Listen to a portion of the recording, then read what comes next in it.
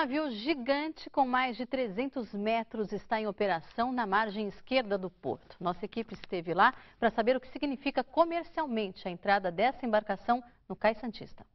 São 340 metros da polpa até a proa. Segundo as autoridades portuárias, é a primeira vez que um navio deste tamanho atraca no Porto de Santos. Antes dele, os terminais daqui só podiam receber embarcações com no máximo 336 metros de comprimento, 4 metros a menos do que este gigante de Singapura. Um, dois, três, quatro metros. Parece pouco diante de um navio deste tamanho, mas a vinda desta embarcação para Santos é uma tendência.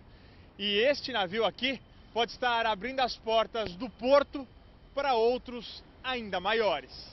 Foram seis meses de estudos, simulações e ajustes com os órgãos governamentais para conseguir autorização para o navio entrar no Porto Santista. Existe uma tendência de ter navios de até 366 metros operando em Santos no futuro breve e cada, quando, quanto maior os navios, a tendência é você ter fretes mais competitivos e fretes mais competitivos reflete no bolso do consumidor final, que é, você vai ter um custo total menor nos produtos importados pelo, aqui para o consumidor final. Esse aumento no tamanho dos navios mexe na economia, podendo até baratear alguns produtos. Quanto mais contêineres um navio leva, mais barato sai o transporte.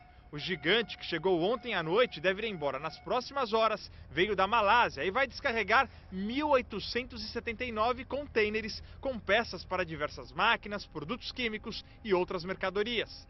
O navio segue fazendo escalas até Buenos Aires e deve voltar a Santos daqui duas semanas para carregar outros contêineres e levar para o outro lado do mundo papel, resina, carnes e produtos agrícolas.